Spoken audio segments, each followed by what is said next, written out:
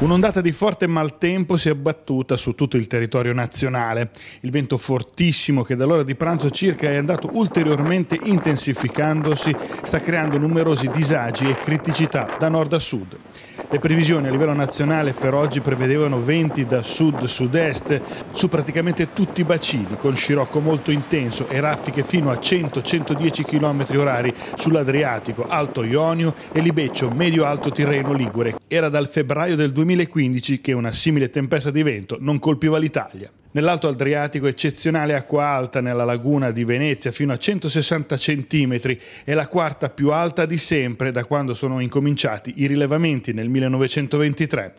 Nel medio Adriatico si sono viste onde alte fino a 6 metri e persino superiori e conseguenti mareggiate lungo tutte le coste esposte a sud-sud-est. A Fano la mareggiata ha mangiato metri e metri di arenile nella zona senza scogliere dell'anfiteatro Rastat. Soltanto in nottata il transito del fronte freddo associato al minimo determinerà una rotazione delle correnti da sud-ovest con una parziale attenuazione dell'intensità del vento che continuerà comunque a soffiare moderato o forte anche per la prima parte della giornata di domani, martedì.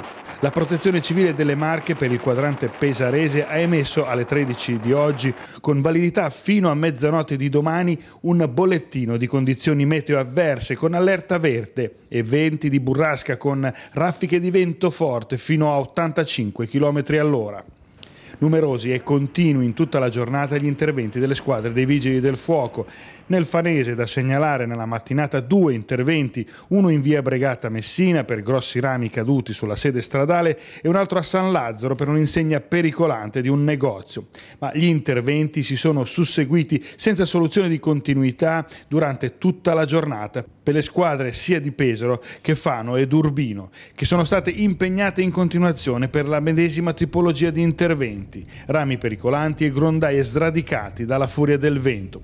Non si segnalano però situazioni di particolare criticità, richiamato a supporto anche personale aggiuntivo.